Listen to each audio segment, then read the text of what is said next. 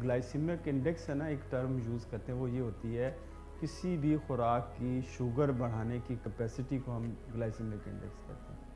मिसाल के तौर पे ग्लूकोज को हम सौ लेते हैं यानी जो आप ग्लूकोज लेंगे वो सौ फ़ीसद आपकी शुगर बढ़ा देगा।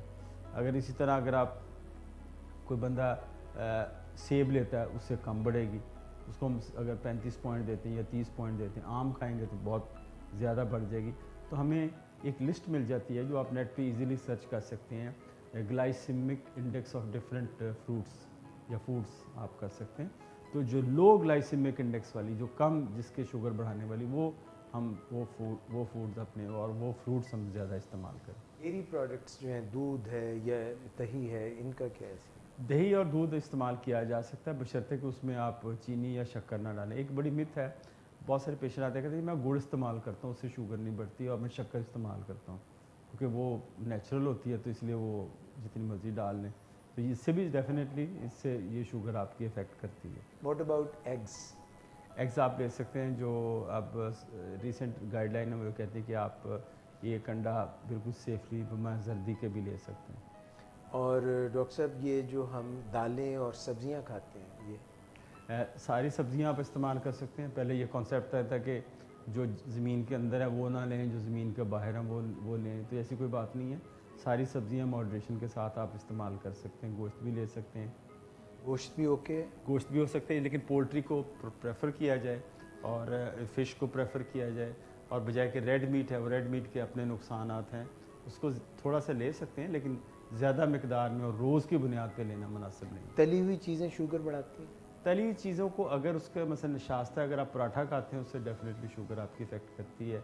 अगर आप जो तली हुई चीज़ें हैं, वो आपका बेसिकली ये करती हैं कि आपके मैदे को स्लो डाउन कर देती है। जब स्लो डाउन होते हैं तो उससे फिर डेफिनेटली आपकी शुगर अफेक्ट करती है। ठीक है। डॉक्टर साहब, जब जो लोग ज़्यादातर बैठे रहते हैं और बैठ के हुक्म देते हैं, ये काम कर दो, वो काम कर दो, या ऑफ़िस जॉब है, या डेस्क जॉब है, या ख़वातीन हैं, उनकी मेड्स हैं उनकी जो इनएक्टिविटी है आ, सुस्ती काहली की वजह से या कोई चोट लग गई है टांग पे फ्रैक्चर हो गया या चल नहीं सकते इनएक्टिविटी हो गई है इसका शुगर से कोई ताल्लुक? डेफिनेटली शुगर का आपकी इनएक्टिविटी से बहुत ज़्यादा ताल्लुक़ है और इसमें मैं थोड़ी सी कि अगर आप चलने फिरने की आदत नहीं है असल सारा दिन बैठ के काम करना है और आप कोई एक्सरसाइज नहीं करते तो आपकी शुगर इफ़ेक्ट कर सकती है। अब ये रिकमेंडेशन ये की जाती है कि कोई भी बंदा अपनी कुर्सी पे 90 मिनट से ज़्यादा ना बैठे। नींद के मतलब क्या है? नींद अगर देखें हम जो रिकमेंड है रिकमेंडेशन ये है कि सात छः से सात घंटे तो कम से कम कंटिन्यू स्लीप होनी चाहिए। तो और स्लीप का जो आर्ज है ना वो आपकी रात की नींद है।